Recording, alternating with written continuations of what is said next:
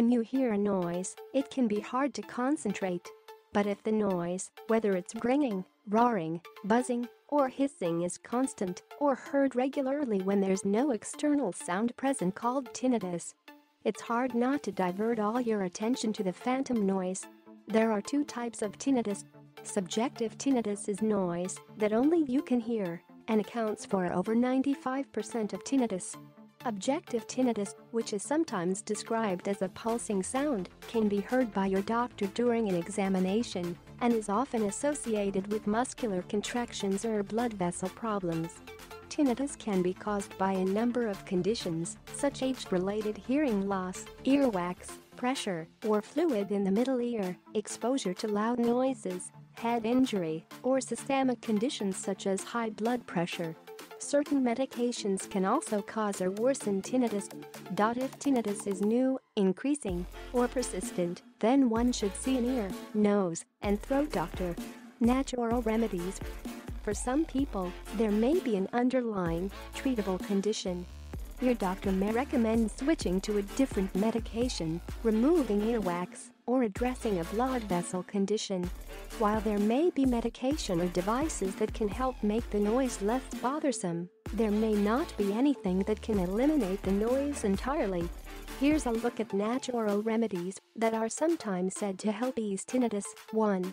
Ginkgo biloba, an herb said to stimulate circulation. Ginkgo biloba may have an impact on a subset of people with tinnitus, for a report published in the Cochrane Database of Systematic Reviews in 2013, researchers examined four previously published clinical trials with a total of 1,543 participants on ginkgo biloba for tinnitus.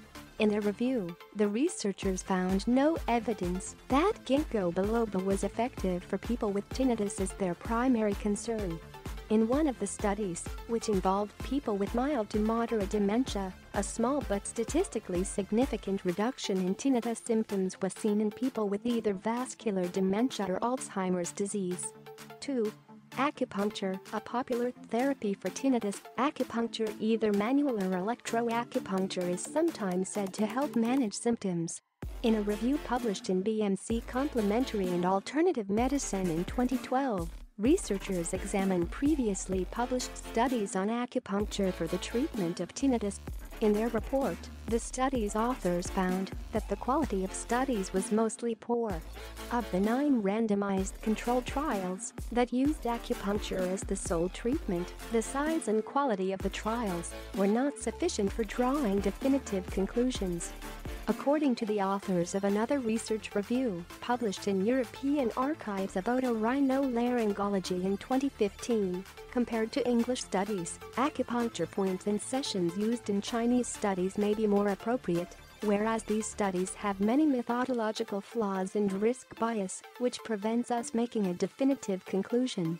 They concluded that acupuncture may offer subjective benefit to some people with tinnitus and that further research is warranted. If you want tinnitus treatment naturally, without side effects, visit the link below for video description. 3. Zinc, an essential trace mineral, zinc is involved in nerve transmissions throughout the auditory pathway in the body and has been linked to tinnitus in several early studies. A study published in the American Journal of Otolaryngology in 2015 assessed zinc levels in people with tinnitus of the 100 people in the study, 12 had low serum zinc levels. The severity and loudness of tinnitus were greater in those with low zinc levels. The researchers also noted that the mean age of a zinc-deficient group was 65. Four years. Not all studies have found a link between zinc levels and tinnitus. A study published in Clinical and Experimental Otorhinolaryngology in 2015 for instance, used data from the Korean National Health and Nutrition Examination Survey to examine the relationship between serum zinc levels and tinnitus. After analyzing data from the 2,225 people who responded to the tinnitus questionnaire and provided blood samples to measure serum zinc, the researchers concluded that the low zinc levels were not related to tinnitus. Many of the earlier studies that have looked at zinc administration have suffered from inadequate experimental design. A more recent study, a randomized, double-blind, placebo-controlled crossover trial published in Otology and Neurotology in 2013 examined the use of zinc supplements or a placebo in people with tinnitus over the age of 60 who are more likely to have an age-related zinc deficiency.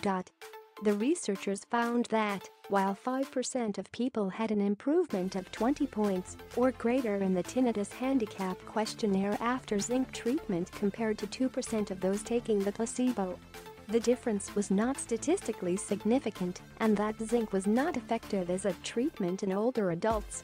4.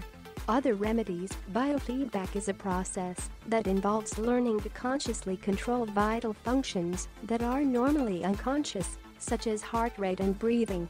In a 2009 study, researchers found that a combination of biofeedback and cognitive behavioral therapy could help decrease tinnitus-related distress.